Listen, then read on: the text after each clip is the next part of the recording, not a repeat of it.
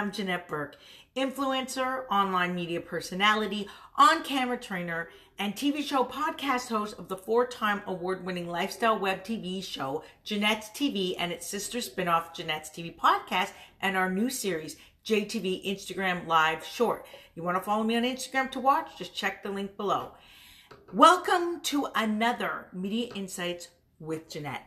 As an expert or thought leader with a book, speech, or coaching program that you want to promote in the media, it's very important to understand the real purpose of most media interviews so that you can make the best of them.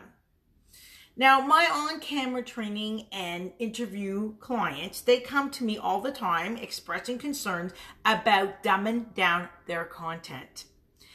And they prefer to fully educate the audience.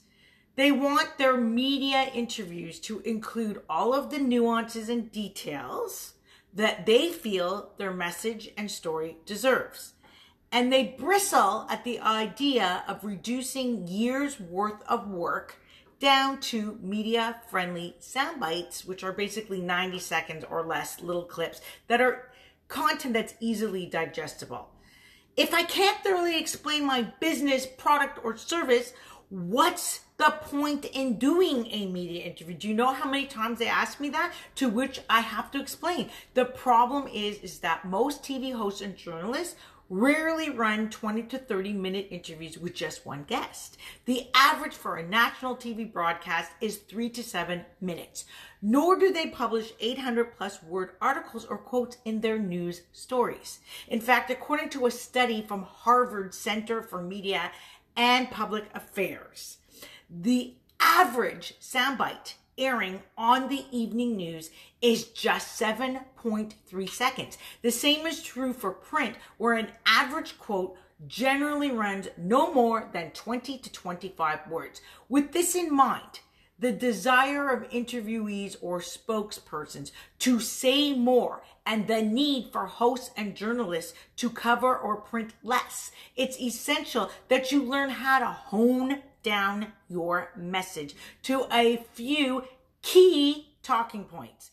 You never know what will make air or end up in print, and you don't want to be cut off mid sentence without completing a complete thought, risking your message being taken out of context or misquoted. But if you say everything about your message or your business, you'll be remembered for nothing. So here's a really crude analogy that truly sticks. Think of media interviews as a gateway drug. Your goal isn't to say everything. You can't. Rather, it's to hook your audience just enough so that they want to learn more and get involved. The real purpose of most media interviews that capture audience's attention isn't to be comprehensive and fully educate them. It's to inspire members of the audience to take the next step. A well delivered media interview might persuade a portion of them to visit your website, call you, join your mailing list or Facebook group and this will ultimately lead them to buy your book, attend your lecture, or register for your course.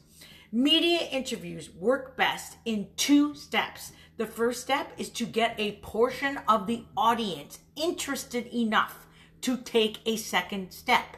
And in that second step, they'll seek more information and become better educated.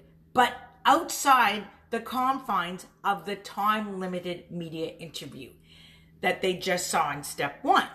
If you're serious about making media interviews part of your marketing and you would like to stop trying to say everything and start thinking about the parts of your message that are most likely to get audiences interested enough to take the next step, I can help you.